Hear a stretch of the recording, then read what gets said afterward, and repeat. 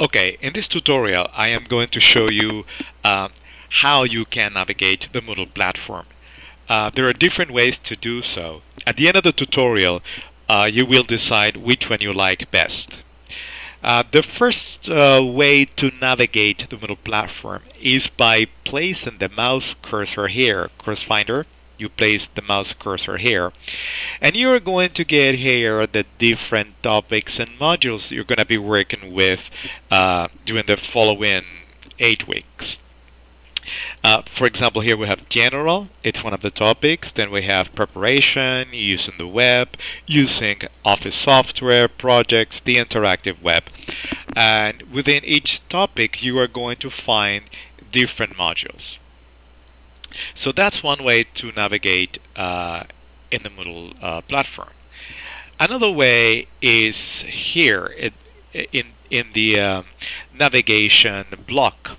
If I click here on plus, I am going to be able to click on my profile and also my courses and right there you have uh, the modules that you are going to be working with uh, during this uh, course Another way to navigate the Moodle platform is by docking uh, the blogs in this area here. So uh, if I place the mouse cursor here, you are going to read move this to the dock. That, that means that this block is going to be moved to this area here. So I'm going to click there and now uh, the navigation is here. See, so I've got again my profile, my courses, I can collapse or expand whatever it is that I'm going to find here and I'm going to find here the different modules.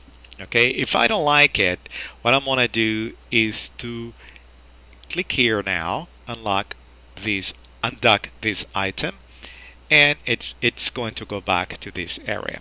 The idea of ducking uh, blocks here is that it's going to give you more room for you to read or, or to do your activities. I can do the same with settings. I'm going to click there and see now I've got like more space. Uh, I'm going to click here and here okay so uh, as I told you before there are different ways then to navigate the Moodle platform course uh, finder uh, the navigation or simply by clicking here and docking the block uh, in this area.